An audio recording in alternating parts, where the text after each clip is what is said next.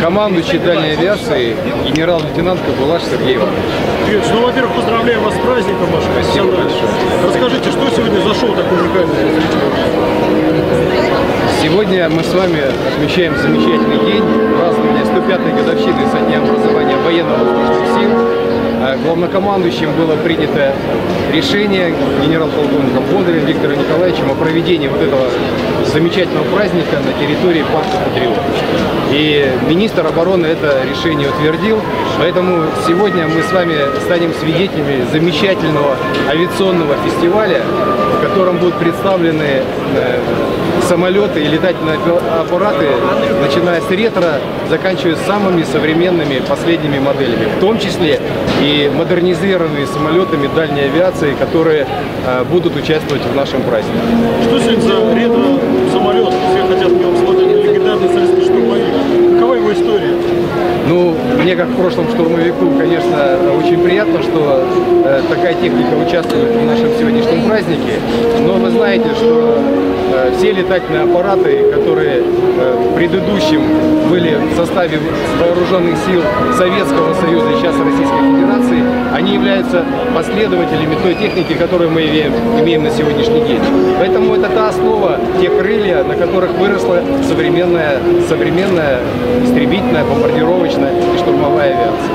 Вот сейчас мы в действии посмотрим, принципе, те, а, ту технику, которая стоит на вооружении, правильно? Конечно, от ретро-самолетов до самых последних моделей, которые сейчас стоят на вооружении э, военно-воздушных сил Российской Федерации, все будут представлены в нашем авиационном фестивале.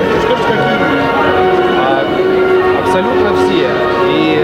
И самолеты-истребители последнего поколения, и Т-50, и Т-50, и Су-35, и Су-25, Су-25СМ, Ту-22, Ту-95, Ту-160, всех не перечислить.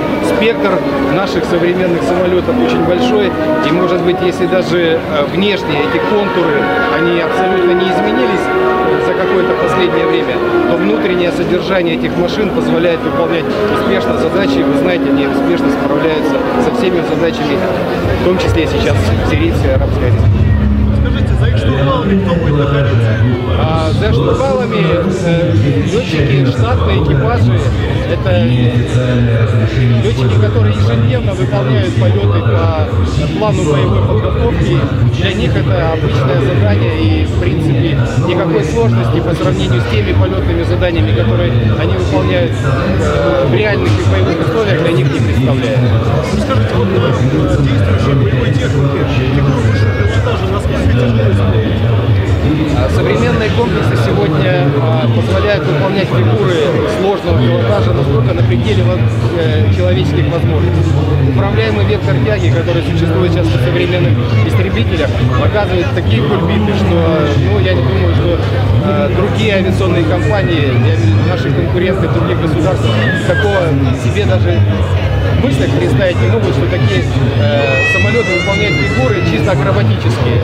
Поэтому эти человеческие возможности и возможности сегодняшней авиационной техники позволяют э, выполнять э, такие фигуры, но это не просто акробатика, это фигуры пилотажа, которые позволяют в боевых условиях быть всегда э, выше, быстрее и всегда быть готовым в первую очередь выполнить поставленную задачу и уйти победителем из этой дуэли. Уважаемый коллега, а поздравления сказал Сергей Иванович? Ну все, давайте поздравления летному составу и Но от э, дальней авиации разрешите мне всех поздравить с нашим профессиональным праздником.